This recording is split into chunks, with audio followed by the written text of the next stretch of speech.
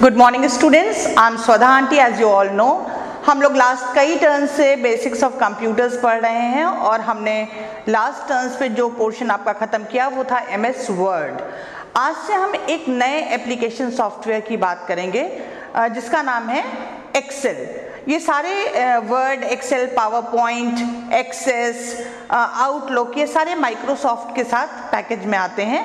और इन्हें अलग अलग कामों के लिए डिज़ाइन किया गया है। तो आज से हम शुरू कर रहे हैं चैप्टर नंबर सिक्स, जो बेसिक्स ऑफ़ स्प्रेडशीट आपको बताएगा कि स्प्रेडशीट में क्या क्या चीज़ें होती हैं। स्प्रेडशीट आपके एक्सेल सॉफ्टवेयर का सबसे इंपॉर्टेंट हिस्सा है। तो सबसे पहले तो हम ये जान लेते हैं कि ये एक्सेल क्या है। तो जैसा कि मैंने आपको बताया कि हम लोग बहुत सारे एप्लीकेशन सॉफ्टवेयर्स पढ़ रहे हैं। तो पहले आप ये समझिए कि एप्लीकेशन सॉफ्टवेयर क्या है। ये मैंने आपको लास्ट टर्न पे भी बताया है कि एप्लीकेशन सॉफ्टवेयर क्या है। जब हम चैप्टर नंबर वन आपको पढ़ा रहे थे तो आपको बताया था कि एप्लीकेशन सॉफ्टवेयर सॉफ्टवेयर का एक टाइप है जो किसी स्पेसिफिक तरीके के काम को करता है। ठीक है?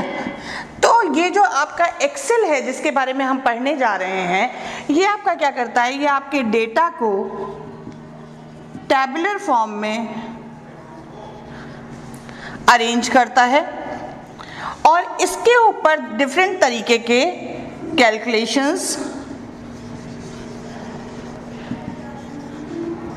करने की आपको परमिशन देता है। तो आप जब एक्सेल खोलेंगे तो एक्सेल में जो आपको फ़र्स्ट पेज अपना दिखाई देगा, उस पेज को हम क्या बोलते हैं? उस पेज को हम बोलते हैं spreadsheet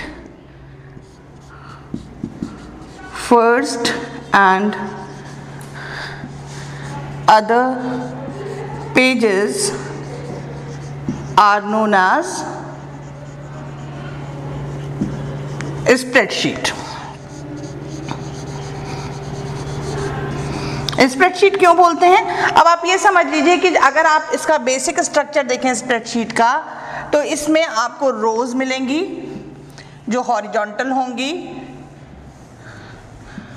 और आपको बहुत सारे कॉलम्स मिलेंगे जो वर्टिकल होंगे। कॉलम्स के नाम आप A B C D and so on करके लिखेंगे। रोज के number one two three four five six seven and so on आपको मिलेंगे। ठीक है? तो अब हम यहाँ पे जो पढ़ने जा रहे हैं, वो क्या पढ़ने जा रहे हैं? हम पढ़ने जा रहे हैं इस स्प्रेडशीट के जो फीचर्स हैं, वो क्या क्या हैं?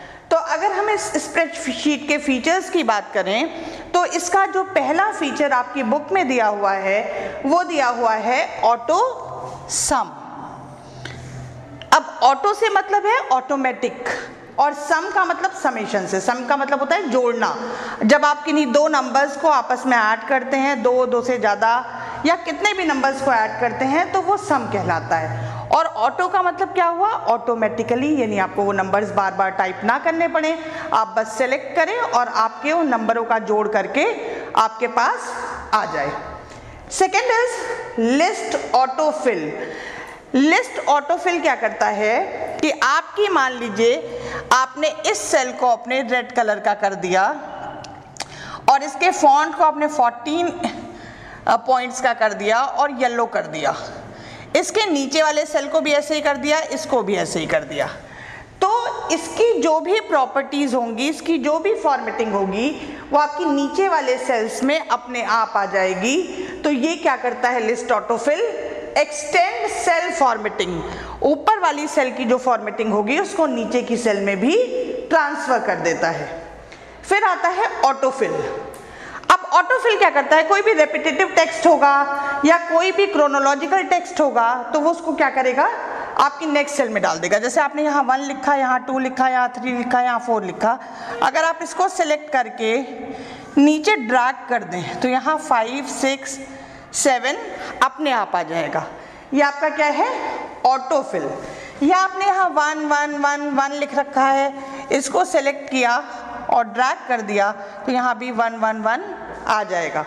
ये हो गया ऑटोफिल इसके बाद नेक्स्ट जो फीचर आपको दिखाई दे रहा है, वो दिखाई दे रहा है ऑटो शेप्स ये फीचर आप लोगों ने एम एस वर्ड में भी पढ़ा है। ऑटो शेप का मतलब ये हुआ कि आपने कोई भी शेप बनाने की ज़रूरत नहीं है। आप रेक्टेंगल सर्किल स्टार स्माइली कुछ भी वहाँ पहले से डिफ़ॉल्ट सेटिंग में पड़े हुए हैं।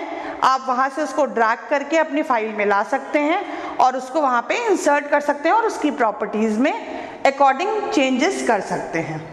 Next is wizard what is this wizard it is help wizard जब भी आप कोई काम करते हैं, आप नए सॉफ्टवेयर पे आते हैं, आपको कुछ भी नहीं आता है उसके बारे में तो आप इस विजार्ड में जा कर के उसके इंडेक्स में जाके लिख सकते हैं या देख सकते हैं कि हमें इस टॉपिक के बारे में पढ़ना है और उस टॉपिक के बारे में वो आपको सारी जानकारियाँ प्रदान कर देता है।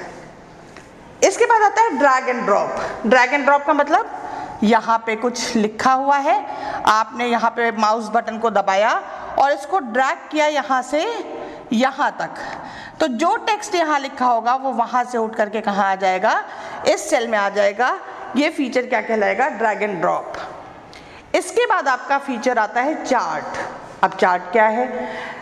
जैसे आप सभी ने देखा होगा, अगर एक क्लास में, मान लीजिए आपकी क्लास में दस बच्चे हैं, दस बच्चों की हाइट अलग अलग है। अब हम चाहते हैं कि इन दसों बच्चों की हाइट को हम चार्ट से दिखा दें। तो हम क्या करते हैं, हम इसको एक्स एक्सिस पे प्लॉट करते हैं। यहाँ हमने बच्चों के नाम लिखे और यहाँ हमने हाइट लिखी।